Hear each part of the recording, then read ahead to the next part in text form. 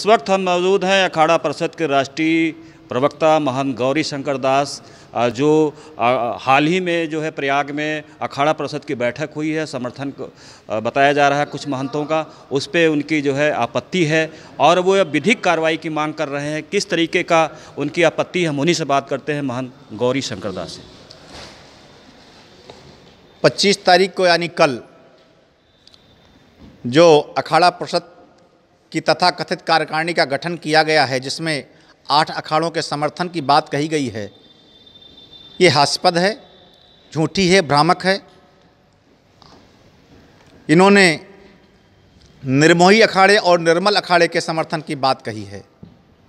इनको लेकर के आठ अखाड़े होते हैं, उनके हिसाब से। तो निर्मोही अखाड़े के श्री महान राजेंद्र दास जी हैं, रामजी दास जी हैं, और राजेंद्र दास जी, जो 20 तारीख को कार्यकारिणी गठित हुई है, उसमें महामंत्री अखाड़ा परिषद के बनाए गए हुए हैं। निर्मल अखाड़े के श्री महान ज्ञानदेव सिंह जी हैं, सचिव जसविंदर सिंह जी हैं।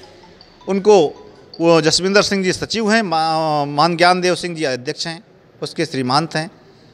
तो इस प्रकार की झूठी बातें जो की गई है, अल्पमत में उनकी जो कार्यकारिणी है, और जैसा कि आज से नहीं, महान ज्ञानदा, ज्ञानदास जी जब अखाड़ा परिषद के अध्यक्ष थे, नरेंद्र गिरी जी जब अखाड़ा परिषद के अध्यक्ष थे तो चुनाव बहुमत के आधार पर हुआ है।